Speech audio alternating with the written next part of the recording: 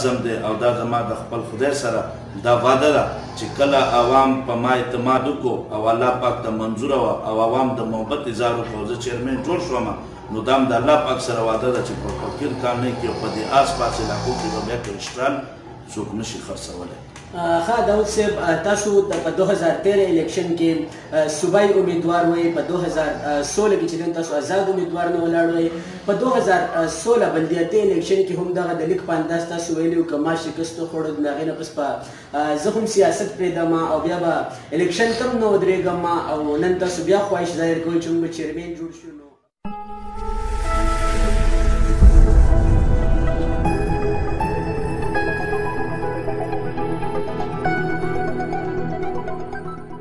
دغه لالو کې داوت پټان هم یو نوم دی چې د علاقې لپاره د هغو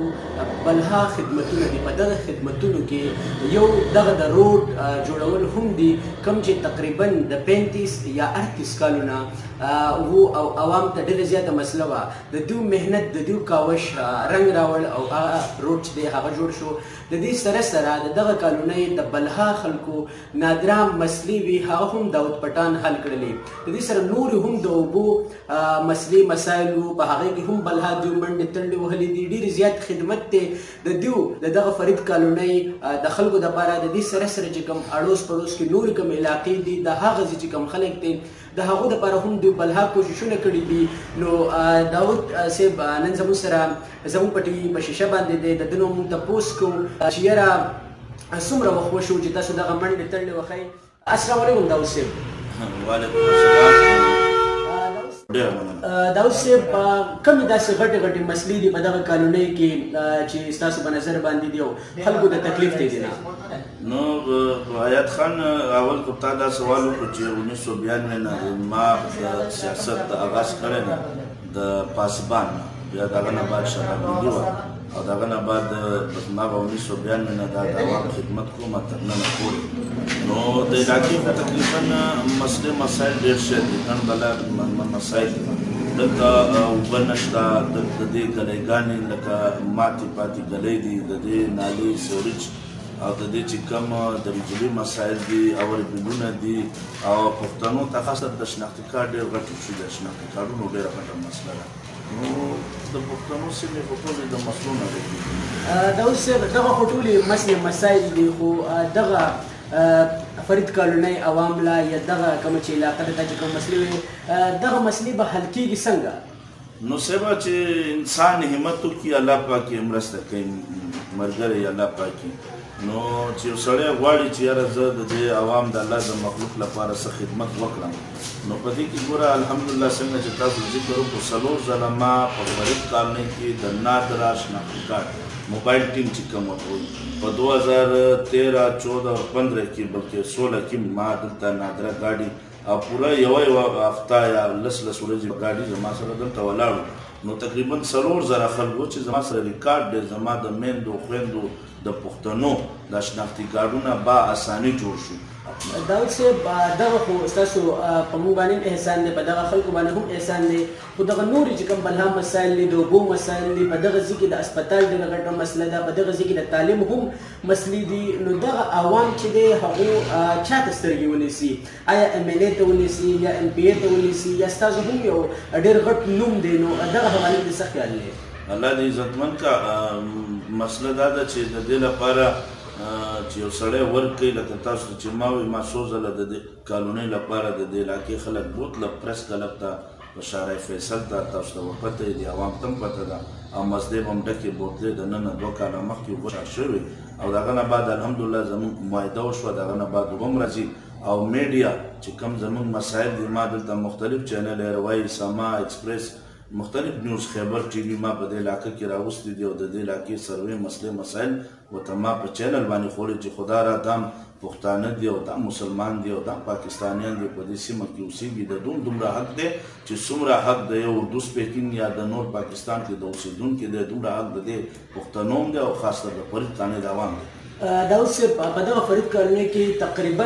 سو 80% خلک چې دی هغه پښتانه آباد دي نو تر اوسه پورې دغه پښتنو نه په خپله مرزی باندې ایم این ای جوړ کو نه ایم پی ای جوړ کو نه چیرمین جوړ کو حتی کې کونسلر هم د دیو په خوخه نه وی نو دغه څه وجه ده نو سبا یو خو زمونږ د پښتنو دا بس الله پاک دې د دوی اتفاق وکړي باچا خان بابا ویلي چې به چې کله د دوی اتفاق جوړ شي د پښتون قوم او د کفاغ ورځ به بیا قیامت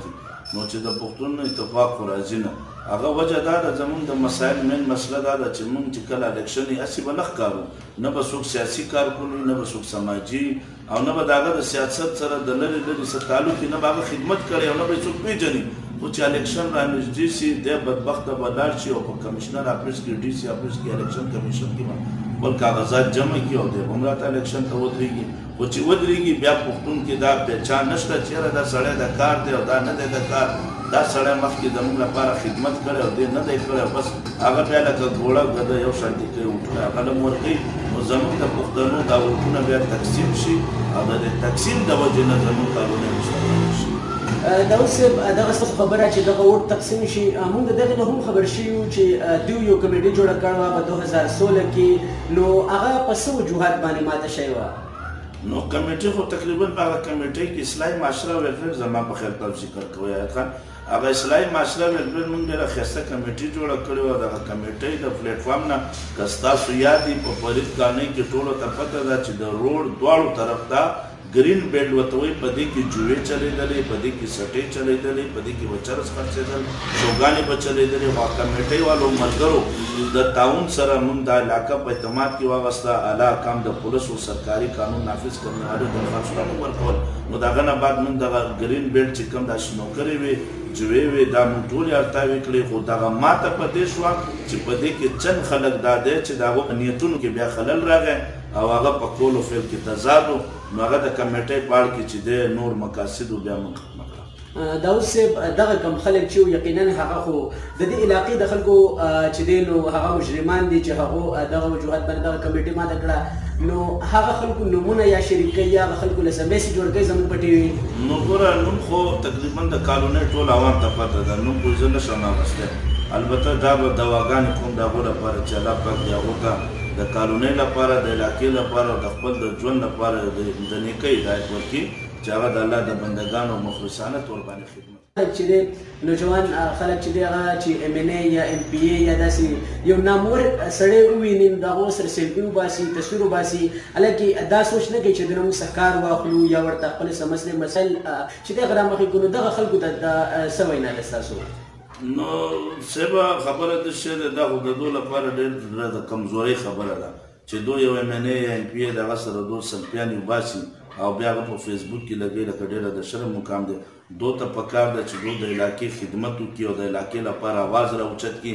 دو په خپل هم چیرمین جوړیدای شی ایم این ای ایم پی ای جوړیدای شی چی دی د بل پسی منډی وهی او د فوټوانو لپاره نو که دی فوټوان وباسی چی ددی نه دا ښه نه ده چی دی لکه هغه ته دا وایی چی بایی ته زما په دی ووټ منتخب شوی او زما د پارټی نه منتخب شوی زما د علاقی دا کار وکړه نن د افسوس سره زه دا خبره کوم چی دو دی راپاسی راشه نن په کالونۍ کې واړه واړه ماشومان په پوډر و په کرشټرالو لګېدلي دي او ال دا زما عزم دی او دا زما د خپل خدای سره دا وعده ده چې کله عوام په ما اعتماد وکړو او الله پاک ته منظوره وه او عوام د محبت اظهار وکړو او زه چیرمین جوړ شوم نو دا هم د الله پاک سره وعده ده چې په فقیر کالنۍ کې او په دې آس پاس علاقو کې به بیا کرشټرال څوک نشي خرڅولی. ښه داود صاحب تاسو د په 2013 الیکشن کې صوبایي امیدوار وئ په 2016 کې چې نن تاسو آزاد امیدوار نه ولاړ وئ په 2016 بلدیاتي الیکشن کې هم دغه د لیک په انداز تاسو ویلي که ما شکست وخوړو د هغې نه پس په زه هم سیاست پرېږدم او بیا به الیکشن ته هم نه ودرېږم او نن تاسو بیا خواهش ظاهر کوئ چې موږ چیرمین جوړ شو نو دغه باره کې څه وایي نو صاحب دا خو ګوره زه خو سیاست نه کوم زه خو یو قسم د عوام خدمت کوم او دا خدای ګواه دی زه دا خدمت صرف د الله د خوشنودۍ لپاره کوم چې الله او د الله ذات رانه خوشحاله وي او تقریبا زه چې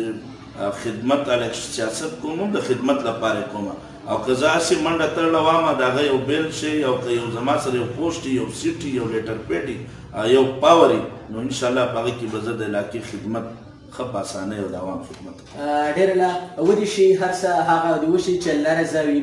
نو اداو صاحب دغه اخیری پوښتنه درنه کوو چې زموږ د ټي په شیشه باندې د دغه چې کوم چارواکي دي د دغه چې کوم واکداران دي هغه ته څه میسج ورکړي نو هغه ته زه دا وایم تاسو د چینل په توسط تاسو شکریا ما دا کومه دوی ته زما دا ریکوست دی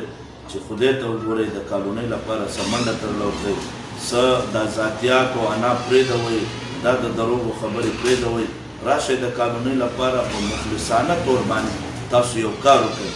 نو چی تاسو کار وکړئ خدای ګواه دی چی زه به ستاسو لپاره هم دواګوی یم او بلکه د کالونۍ مخلوق د الله بندګان به ستاسو لپاره دواګوی نو په ځان کی دا د خدمت جذبه پیدا کړئ په ځان کی د محبت جذبه پیدا کړئ د کالونۍ او د ملک سره او د الله د بنده ګانو سره د مینې ولوله او جذبه پیدا کوي دا زما پیسج دی ډېر ډېر مننه دا اوس افسر شو چې تاسو موږ له وخت راکو بیا دغه مسلې تاسو راوچتې کړې او د دغې چې کوم حل دی د هغې د تلاش تاسو عوام له میسج ورکو د سمع الله په دغه شعر د نه بخښنه اخلم وایي چې د بعضې خلکو خوی د مار وي د مارانو سره چرته کېږي داود صاحب وای د بعضې خلکو خوی د مار وي د مارانو سره چرته کېږي پیره که ما وژنې ما خپل خون ورته بخلی که ما وژنې ما خپل خون ورته بخلی د یارانو سره چرته کېږي پیره ډېر ډېره مننه یم حیات یوسف زه کیمرمین امجد علي سره زمونږ ټي وي کراچي درنه